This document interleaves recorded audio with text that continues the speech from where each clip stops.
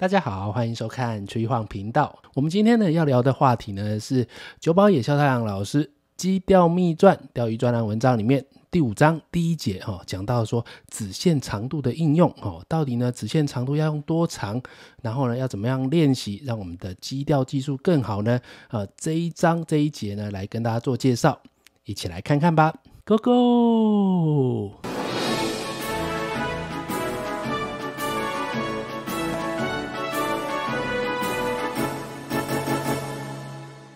好，我现在呢已经来到了九八幺九肖太阳老师《基钓秘传》钓鱼专栏文章里面第五章第一节。好，这里讲到呢子线长短呢，呃，怎么样的使用应用？哦，在这一节里面来呃介绍。那我现在呢，这个是文章里面的一张照片，是九八一老师正在调整子线长度的一个画面。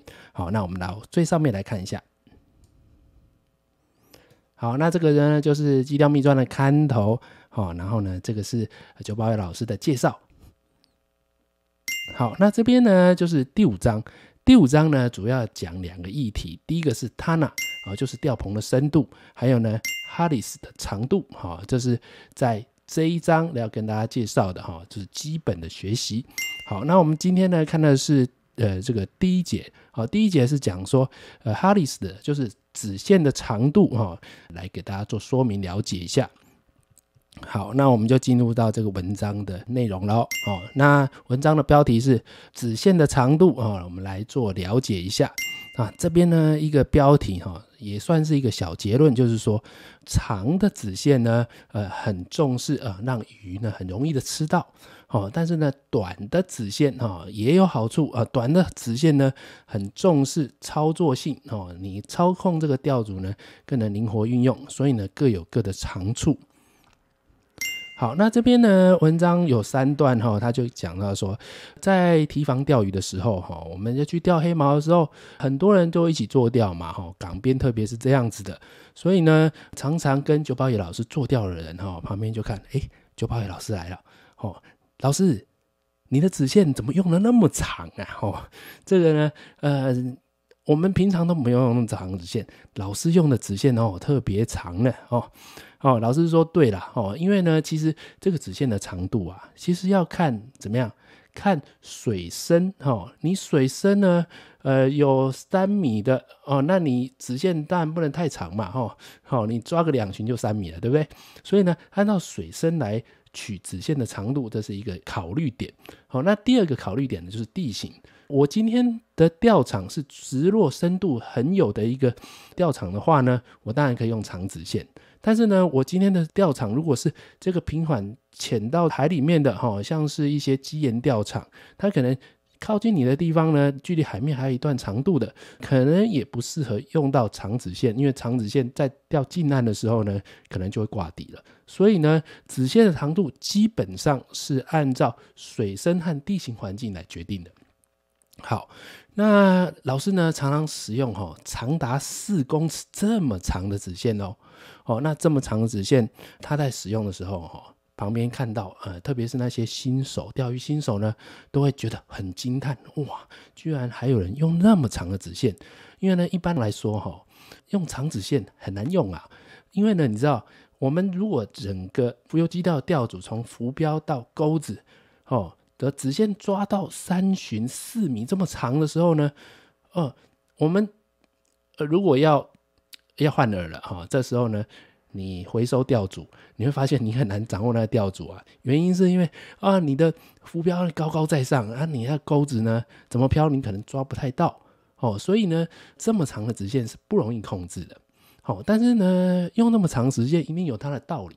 那他这边呢，老师就先一个简单的结论是说，用比较长的子线哈，对于鱼吃食的这个呃违和感哦。鱼比较没有戒心的哦，鱼比较容易吃下你这个钩子上的饵，所以呢，他比较建议大家呢使用长子线哦，特别是呢你在用浮游基钓的时候，浮游基钓原理呢，其实从浮漂下来都是小小的铅锤啊，这个小小的潮兽几乎都是用整个子线的重力呢，在让钓组缓缓的下沉的，所以呢，用长子线特别能发挥浮游基钓的威力，而且呢。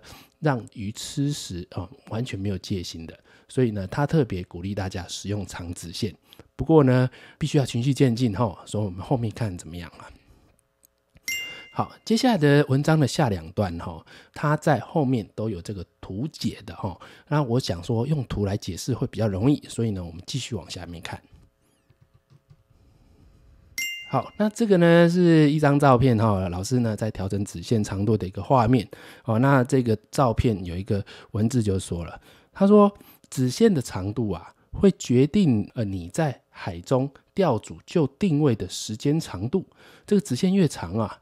在海中自然垂下就定位，而且让你的浮标微微下沉的那个情况，哈，就是就定位的这个情况呢，是要花比较长的时间的。所以呢，刚开始的新手啊，你可能就是用一定的长度，你不要用太长哦。然后呢，习惯了之后呢，你再慢慢的加长你的直线。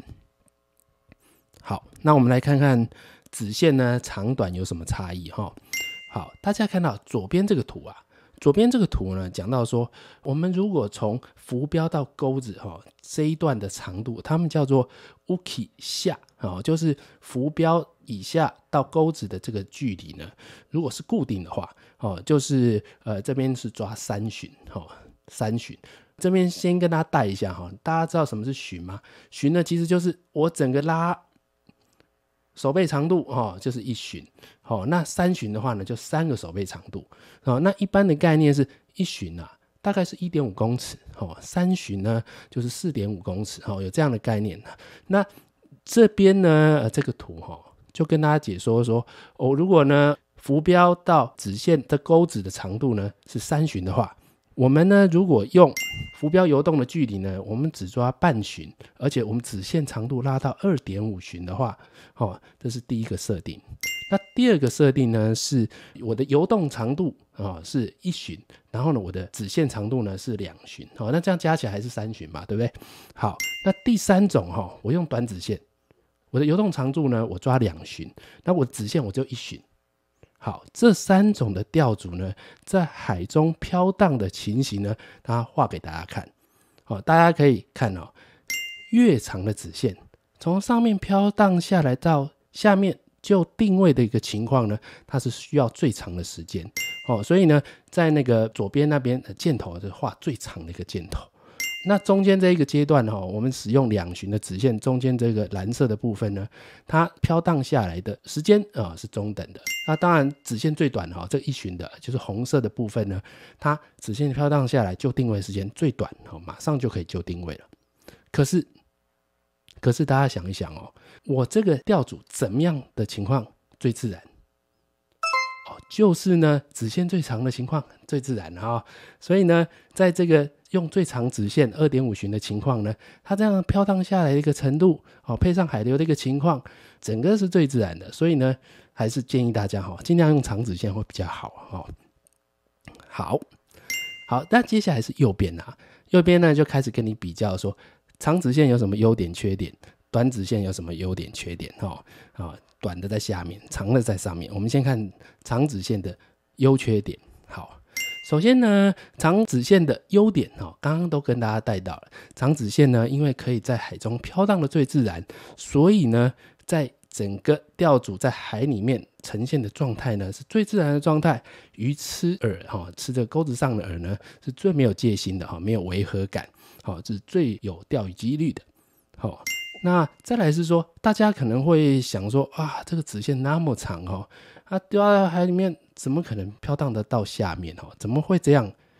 他说：“因为啊，我们的子线哦，使用的是碳纤线。那大家知道，碳纤线其实比重是最重的哈，在海水中是会沉水的。所以呢，这样子高比重的碳纤子线呢，到海里面下沉会一定会自然下沉的，而且呢，就是还会下沉的蛮自然的哦。好，那这边呢，他就顺便带到，哎，缺点就来了。”直线那么长哦，你不太好控制哦。呃，举例来说，我们呢，如果说要把这么长的直线使用，我们抛投，我们一定要让我们的浮标哈升到快要接近竿尾的地方，我们再做抛投，因为那时候呢，直线可能就垂在你面前了。哦，那这样抛投出去，那特别难的是你回收的时候啊，你回收的时候，一般来讲，我们都会会想办法抓住那个。呃钓组上的浮标哈，因为那个才有重力嘛，抓到那个浮标，你才能整个钓组收回来的。可是你抓到那个浮标的时候啊，你直线那么长哈，都拖地啊，拖地呢，在礁岩钓场就很容易勾到有的没的哦，就是临时解不开缠线啊，有这种情况。所以呢，使用长指线的坏处就是哦不太好控制哦，这个整个钓组不好控制的话呢，啊有时候就缠线要换线的就很麻烦哦，这是它的缺点。好，那我们接下来再看这个短指线的部分哈。好，短子线呢下沉的速度呢，因为这旧定位是最快的，所以呢它的下沉情况是比较不自然的。如果今天鱼如果是挑嘴的啊，就不太喜欢你这个饵啊，他就觉得这个就是很怪哈，我就不吃这个饵哦，你的钓鱼几率就会降低的哈。好，那再来是，那它有什么好处？因为它直线短啊，短的话呢就好操作哦。整个钓组呢，我可能几乎我抓到浮标的时候呢，我顺便连直线都理好了，所以呢不会发生缠线或是勾到地上的情形哦。这就是短子线的好处。那他这边也介绍哈，其实短子线不是说完全不行。如果今天这个钓场你已经知道鱼的深度了哈，你的偏光镜一看哦，就知道鱼已经大概在三米那里，我们呢就赶快把钓组就定位到那个地方的时候呢，啊，这时候你需要这个短子线哈，让你的钩子上的饵哈尽快的送到你指定需要的深度，哦，直接呢就可以跟大鱼相会，直接钓上大鱼。哦，不用说啊，慢慢的飘荡，然后引鱼上钩，不用，哦，这是有差异的存在，好，好，好，那接下来这个左边哈，左边这个图呢是在解释说这个长子线跟短子线哦跟诱钓同步的关系，哦，那这个长子线啊，因为它可以随着海流的飘荡，而且呢缓缓的下沉，哦，那这时候呢，因为跟海流的步调是比较类同的，那这时候你打诱饵哈。打诱饵比较容易造成诱钓同步，你的诱饵呢，只要瞄准那个浮标的附近啊，打下去，那大致上来说都会跟你的子线呢形成诱钓同步。诱钓同步的时间是最相近的，维持的时间呢也是最久的，哦，让你呢中鱼的几率可以增加。好，那如果说你是用短子线的话，短子线的话，因为它就定位时间快，所以呢它会提早的下沉。那这时候呢，就跟海流里面那些我们打的诱饵呢，就诱钓不太同步了哦。即使同步呢，同步的时间也比较少哦，所以呢，这时候呢，中鱼的几率就会下降哦。这是长短子线不同的差异，这样子。好，那我们了解了长短子线的差异之后呢，那我们来思考一下，我到底要用长子线还是短子线？好，那我要开始怎么练习呢？这边红色的部分哈，老师就一个结论说，其实啊，你一开始哈，你先用两巡，用两巡的子线来做基准，然后呢，反复的把这个两巡的子线练熟，哈，练到呢，你可以顺利的控制它，然后呢，让这个钓组呢能够缓缓下沉，之后呢，你再慢慢的加长，慢慢的加长，能够提升你钓鱼的几率的哦。好，那文章里面呢就讲到说。哦，大家使用两巡哈，用两巡来练习啊。这个两巡呢，不是什么呃特殊的这种计算出来的哈，这是长久以来大家的一个经验值哈。觉得呢，这个两巡不是很短，也不是很长，就是很适合操作。那中鱼几率也不小的的一个长度哈，所以呢，大家可以用两巡开始练习。好，那接下来这一段呢，下面也有图解的哈，所以呢，我们来往下面看一下。好，那这个是九八爷老师啊，一样哈，在调整直线长度的一个画面啊，也是我放在这一集开头的一个画面。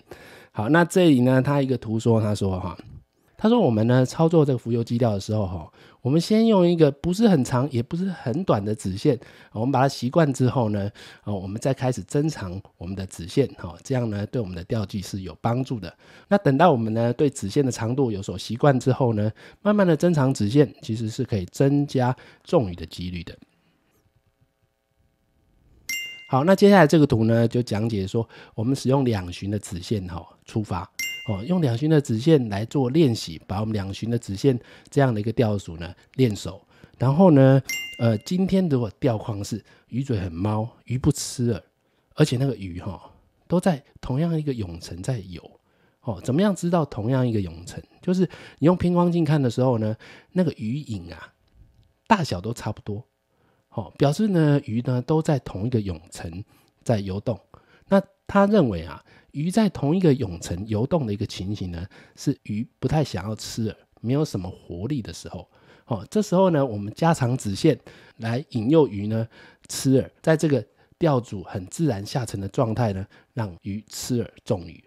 那另外一个情况啊，另外一个情况是今天的鱼活性很好，非常的活跃，很愿意吃饵。那我们这时候呢，我们这么长的子线呢，其实呢就有点没效率了。这时候呢，我们可以缩短我们的子线，增加我们钓组的灵活操作，而且呢，饵料可以快速的就定位，让鱼吃饵。好，那怎么样看鱼今天呢是很有活性，很愿意吃饵呢？除了交饵很快以外，这个鱼啊，它是上来咬你的饵再往下冲的。好，那怎么看啊？这个呢，就是偏光镜，你一看这个鱼影哈，是忽大忽小，忽大忽小。哦，它就是从下面上来吃你的饵，再往下钻。我表示今天的鱼呢，鱼嘴很好，很有活性。那这时候呢，我们缩短直线，让鱼呢就是很快的。能够吃，我们增加我们钓鱼的效率。好，接下来的文章最后呢，他说这是一个侦查钓组哦。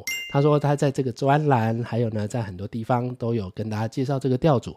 所谓的侦查钓组是说，我今天呢用特别细的线哦，只要一点五号母线加一点五号子线，而且呢我零号无标两寻的子线五号的钩子，这样子的方式呢。我会让我的钓组很容易、很自然的下沉，而且呢，知道鱼所在的钓棚的深度，还有呢，今天鱼嘴好不好，到底愿不愿意吃饵？哦，如果很愿意，呃，加粗我的线啊，加大我的钩子；如果今天鱼嘴很猫，那我加长我的子线，然后用细的子线，还有呢，钩子小一点，这样子的一个侦查试挂呢，可以让你知道今天鱼情的状态，然后呢，再调整成。适合今天钓况的钓组，所以呢，它叫侦查钓组。这边呢也一并介绍给大家。